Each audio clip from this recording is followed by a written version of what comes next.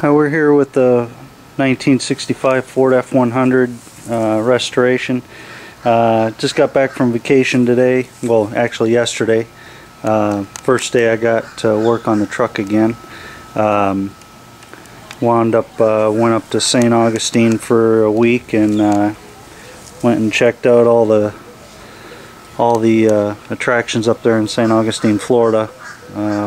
Fountain of Youth and all the uh, old forts and I guess the oldest house in the United States. You got forts back from the 1500s and that. It's a pretty cool place if you ever get a chance to go see it. Um, anyways, uh, start doing some uh, repair work on these little rust areas down here in the corners. Uh, just got done uh, taking the cut-off wheel and cutting out the little piece there.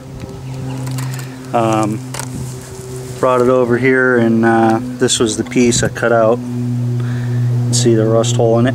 Uh, traced it out on the new metal and I'll cut it out on my uh, throatless shear. And, uh, and then I'll weld it in and grind down the weld. That should be done. And then do the same thing to the other one. Um, anyways I'll set you back here I'm just gonna go ahead and finish that up real quick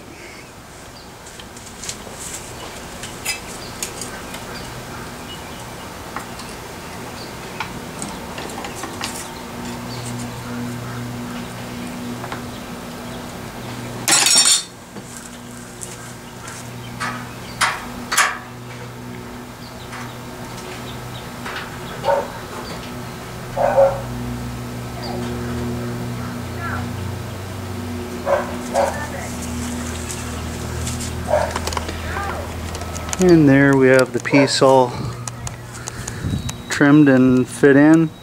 And just weld her in and it should be good to go. I won't bore you with all the welding. I'll uh, tune back in after I get this all finished up. Alright, there we just uh, finished welding in that piece and grinding the weld down. I don't know if you can see in the light. It's all nice and flush now.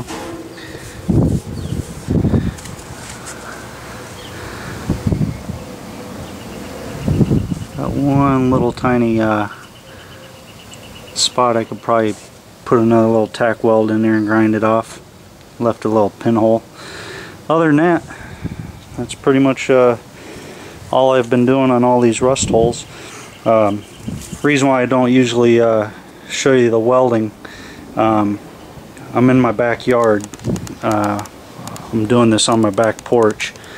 Uh, I got a 220 volt uh, Miller welder and I don't have 220 back here so I have to I made a pigtail extension cord and I run it off my I run it off my 5500 watt gas generator um, so it gets pretty loud. I have to fire up the generator every time I want to do a little weld. Um, there's a easiest way of doing it. I have the the 220 in the front in the garage, and uh, being I can't restore this on my front driveway without code enforcement getting on my ass, I have to do all the welding back here. So, um, other than that, I'm going to go ahead and get this other one going and that should be the end of the welding as far as I can think of on the truck. I got uh, I repaired all the rust holes on the cab. I repaired the lip around the top. Um, repaired the radiator support and all that. Um, all I got now pretty much is body work. Um, I, I do have the, the two doors. The bottom of the doors have the corners right there on each side. But uh, the doors are, they'll come later. I'm, I'm mainly trying to get the cab done to where I can paint the cab and all that stuff. Um, quick little note for uh, Muddy Water 6, just in case uh, you're, I know you just did the the same thing or working on the same thing that I just finished. Um, I went ahead and used those uh, store-bought pieces. Um, these were real nice. Uh, they fit in real nice. The only thing is, is where you're welding, you're going to have to, uh, you got to go back and cut it because the it supplies the top hole in the bracket. So what you're going to have to do is cut it across, you know, the middle and remo remove this whole piece. And then the new piece goes in. What I did is I made, before I cut this out, I made a little bracket that I measured the distance of the two holes here and then when I put my new piece in I just screwed the bolts in and it kind of held it exactly where it needed to be as far as uh, the distance of the spacing here for the holes uh, then I just basically had punched some holes and uh, tack welded it there and then I went back and welded it across up in here same thing on the other side um, not saying it's the best thing to buy, but they're real heavy duty. They're real nice, so if you're not happy with the way the ones you're making yourself are coming out, then uh, I would definitely definitely recommend buying the uh, the store-bought ones. It's worth the money, I think. They're pretty heavy duty. Um, show you the other side too. They're all rusty now because they've been sitting out here. This one's not quite as bad, but um, yeah it just made it much better you can see uh, if you look in my older videos you can see where these were actually free floating just like yours are now I got them all uh, welded in and worked out nice um, other than that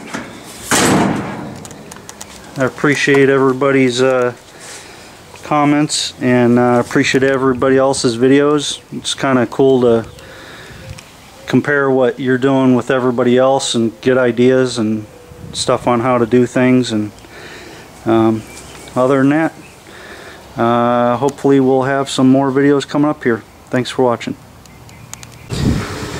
Alright, I'm all done. Uh, this was the uh, second fender. Um, this one didn't come out quite as nice as I liked. All I did is replace this piece here, which what I did come out good.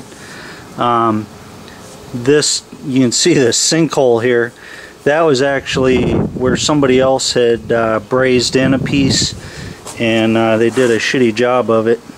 It's uh, got a low spot there and I was trying to decide whether to go ahead and cut this whole section but then I'd have to deal with the contour here.